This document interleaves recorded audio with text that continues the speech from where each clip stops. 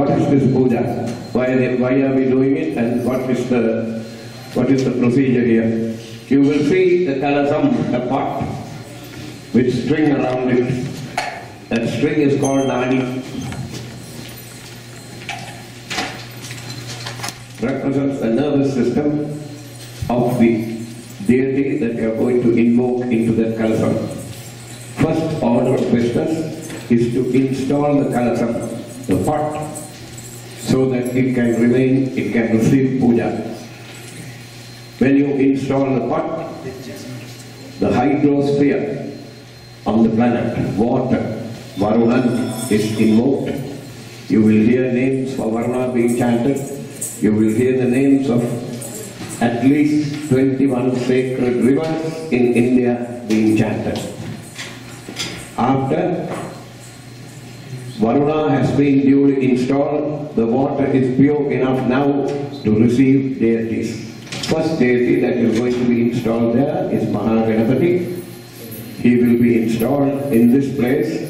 Our tradition dictates that Ganapati is going to be invoked with Lakshmi, Siddha Lakshmi.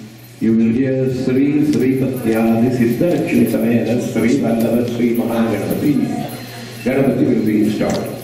And we will go through Shodasa Upachara Puja, 16 services performed to Ganapati with the Mula Mantra. And that too is unique here. No place in any other temple you will you hear the mantra being chanted with this patience. It will quickly run through. You won't even be able to identify what the syllables are.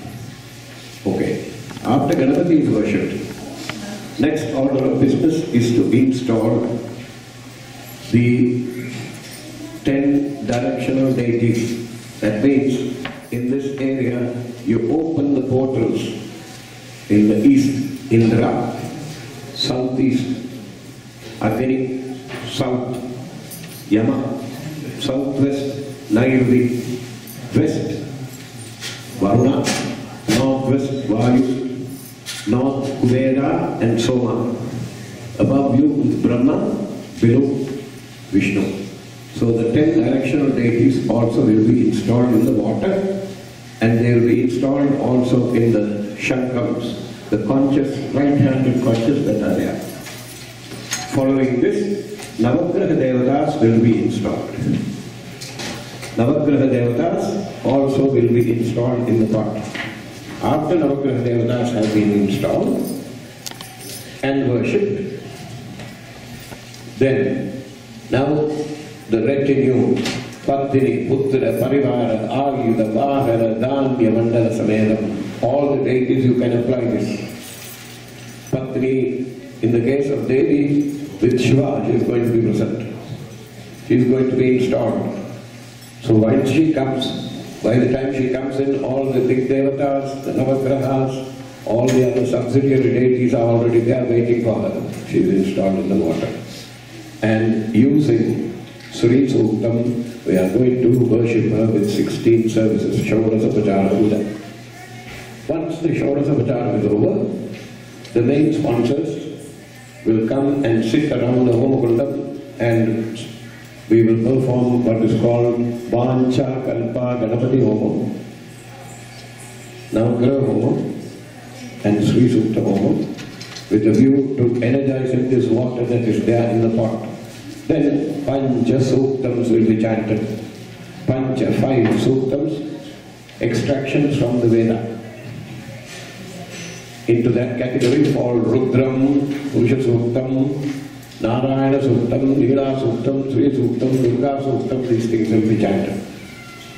And at the end of it, after Shodasa Vajara Puja is performed, we will be picking up the kalasams and taking them around the temple in procession. Okay. After that, they will be, the kalasams will be taken inside the sanctum. And something here that no other temple, to the best of my knowledge, does.